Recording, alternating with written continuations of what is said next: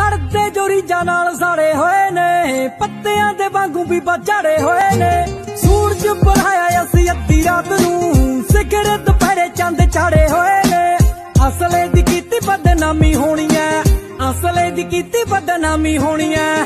ਔਖੇ ਟਾਈਮ ਜਿਹੜੇ ਤੋਦ ਨਾਲ ਨਹੀਂ ਚੱਲੀ। ਹਉ ਕਰ ਫੋਨ ਵੈਰੀਆਂ ਨੂੰ ਗੇਮ ਪਾਉਣਿਆ। ਮਿੱਤਰਾਂ ਨਾਲ ਕਦੇ ਕੁੜੇ ਚਾਲ ਨਹੀਂ ਚੱਲੀ। कान नाल साल नहीं चल